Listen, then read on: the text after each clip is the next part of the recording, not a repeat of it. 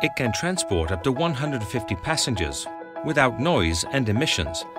It has flexible charging solutions and 80% lower energy consumption compared to a diesel bus. This is the Volvo 7900 electric articulated, an important tool in the transition towards sustainable public transports for cities all over the world. Let's find out how this state-of-the-art electric bus is made. The assembly starts simultaneously at many different substations at Volvo Buses factory in Wrocław, Poland. The finished modules are then transported to the main line for further assembly. The very start of the assembly process is the chassis intake. The chassis is designed for best possible drivability and is manufactured in Sweden. Early on, the very heart of the bus, the electrical motor is installed. Compared to a traditional diesel engine, it's noticeably smaller and lighter. This allows for a better interior layout and more passenger space.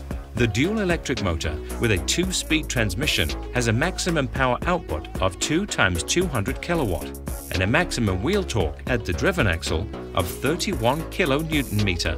That's enough power to start a fully loaded 18 meter bus on a 20 degree uphill slope.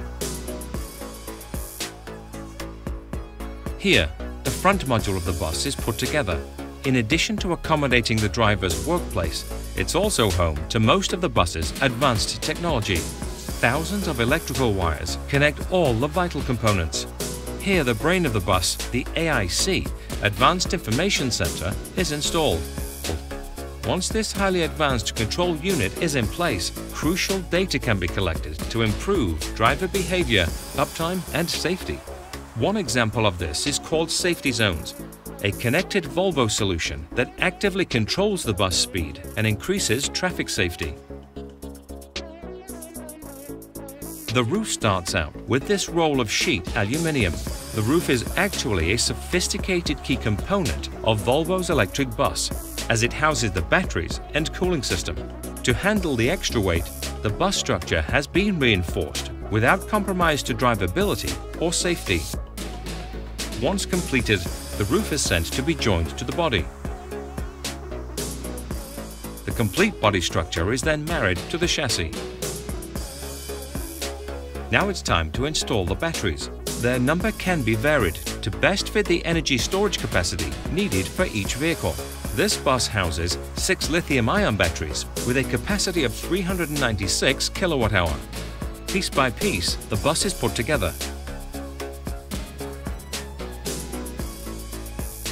After the wheels have been fitted, it's time for the bus to move using its own power for the first time.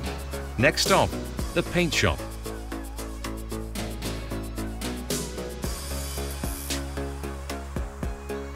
After three days of careful treatment, it can continue its journey with a new shiny look.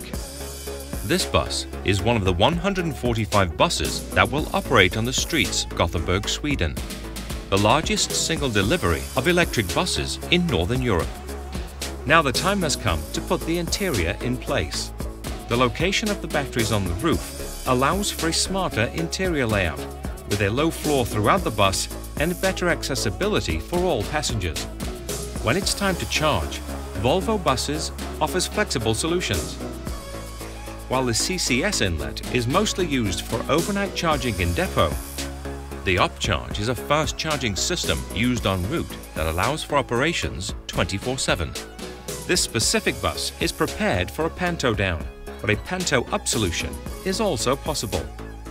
After passing 21 workstations on the main line, the bus is ready to leave the factory to be tested. Tests that will guarantee the high quality and safety that the Volvo brand stands for. Once the bus gets the green sticker, it can start the mission for which it was manufactured, transporting passengers without emissions and noise, reducing the impact on the climate and efficiently improving quality of life in the cities of tomorrow.